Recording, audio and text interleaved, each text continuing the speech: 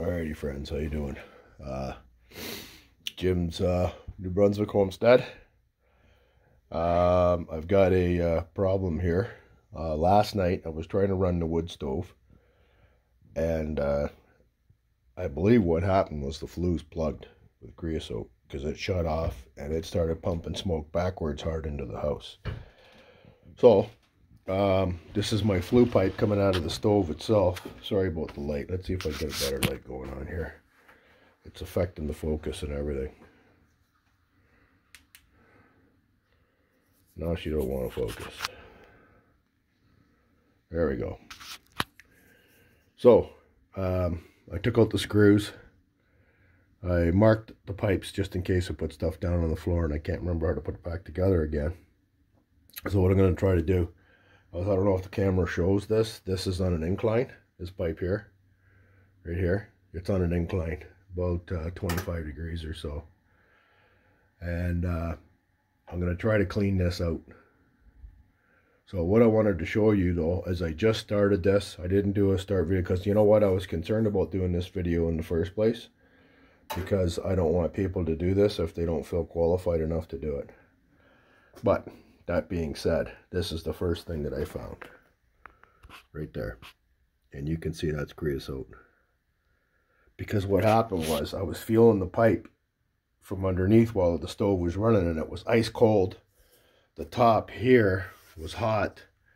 Down under here was cold. And I'm thinking, well, that ain't right. So, um, that lead me to believe. And then when I bumped it, all of a sudden a big puff of smoke come out of the front of the wood stove. And I'm like, uh-oh. So I shut the dampers down and I let her go out. So I'm going to pull this pipe out and then we'll see what's inside. Stand by. There you go. Completely plugged off. I don't know if you can see up in there. Have a look at this. Wow. All right. Now we know what our mission is. Sorry. I've got reading glasses on. I'm trying to do this. That's why the pipe's cold. All right. So, shop vac time. We're going to try to clean all this shit out. Sorry, crap all out and see what goes on.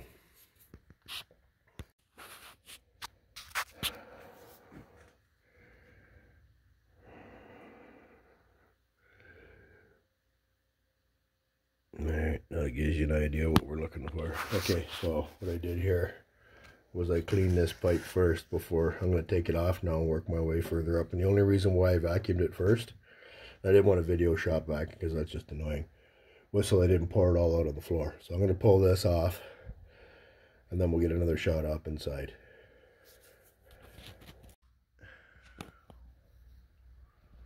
Oh my lord trying to get you a shot. Where'd it go?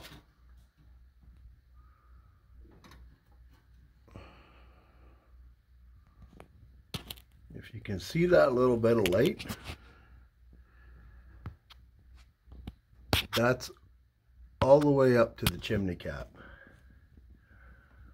So I ran the inspection there. I don't know how good you guys can see that, but I can see the detail of the pipe all the way up.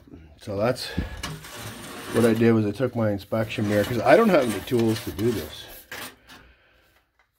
I got a shop vac and a broomstick and a couple other things. But what I need is a set of brushes and I don't have them. And today's a, this is a long weekend so you can see the the apparatus that I came up with was an inspection light stuck in a this is actually a closet clothesline clothes pole. So I stuck that in there. Yeah, I stuck that in there. I'm sicker than a dog. I've been sick all night. I was up all night with an earache. I got a head cold that ended up in my ear, but, you know, we almost choked us out last night. So, um, what I'm doing here is not telling you how to clean your own chimney. I don't know that you can or cannot take that take that responsibility. I recommend a professional chimney sweep. They seem to be in short supply in this area. Uh, I got to get this up and going. It seems to be okay. Uh, I have a, I have, have had a chimney inspector in here a couple years ago, And basically, he said is, uh, sorry about the light, they'll run till they plug up, which exactly what happened. He was 100% right. Um, so, that's what I did. That's what I'm doing. I don't recommend doing this yourself. Uh, I'm not even telling you how to do it. I'm telling you what I did, and that's it. So please don't take it upon yourself if you're not sure. But I just wanted to clean that pipe out. You guys saw what it looked like. And I got to get my wood stove up and going. So that's basically it in a nutshell. Uh, I, I don't feel like making videos today. I'm just dead to the world. But I wanted to share that with you guys. If anything, it's informative on why you should get a chimney sweep done. Why you should maintain your wood burning equipment. Um, there's different recommendations. Now, an aggravator to all this is improperly seasoned wood. I did run some, uh, we'll call it wet wood, moist wood for a while. And it wasn't properly seasoned, and that's what I ended up with. I think that was an aggravator to all this. So I'm going to continue on, clean this up. I'll give you a shot of it put back together, and then you guys decide. Um, let this be an information uh, video on keeping your chimney clean vis-a-vis uh, either really know what the hell you're doing or hire somebody who does. I don't know what a chimney sweep costs, um, but for 150 bucks or something like that, I'd pay that all day long just for the guy to have all. It's going to cost me almost $200 in equipment anyway. So, but I'll wait and see. I got to get into uh, into town uh, when the stores open back up and get some equipment, some brushes and rods and then I'll get uh, I'll go up on the roof and then we'll clean it out that way. But it looks pretty good. I can see straight shot right up there. Little bit of hanging on the sides, nothing crazy. Uh, it's not plugged off. I don't think there's enough creosote in there to get rolling. So anyway, um, I'll put I'll give you a shot once back together again, and uh, we'll talk soon.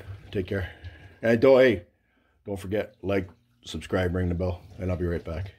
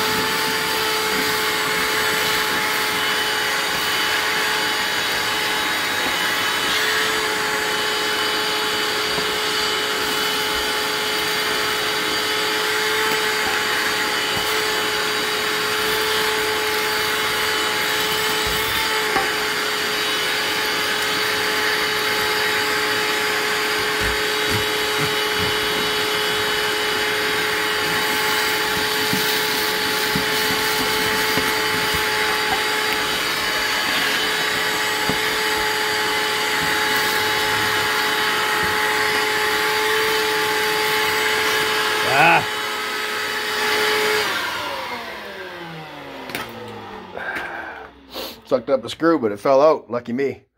Oh, buddy. Did you see that? That was full right up. Wow. Okay, I'm going to put this back together. I just wanted to show you guys uh, what we're up against here. Sorry, I'm bending over. Yeah, let me get this back together, and then we'll talk to you in a bit. Whew, I'm out of breath. I'm sick. I'm not doing well.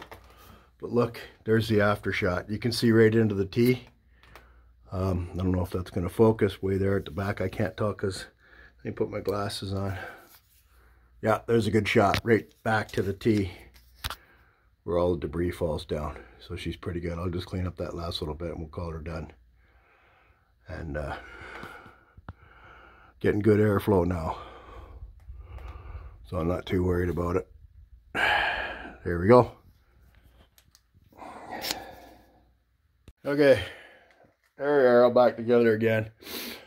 Uh, should be working good. Cleaned everything up. I'll uh, I'll let you know what goes on, and uh, I'll be back in a bit. I just gotta catch my breath and maybe get a fire going. We'll see you soon. All right, she's up running, got a fire in her. I got pipe nice and warm here. Pipe warm underneath. Oh, yes. Oh, getting nice and hot. That's perfect all the way around. So that's the key indicator, sluggish burn.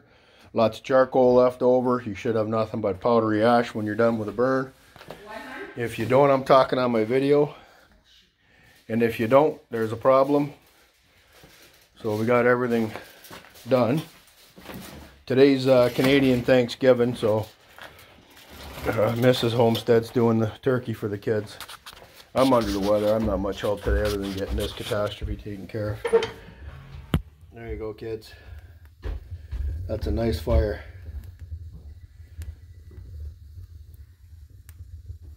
You can hear the wood stoves breathing a little bit. So that's good. Uh, dampers, we'll give her a little bit of damperage, get her warmed up, because she ain't going to run real good till the box is all nice and hot. Okay, I'm done with this. Uh, if you're Canadian, happy Thanksgiving. If you're not, sucks to be you. Um, thanks for uh, tuning into another one of my videos. Wow, this one could have been bad. It could have been a video of a house burning down, maybe. Who knows? It's not cool. Anyway, I'm done. It's time to uh, peace out, and we'll see you soon.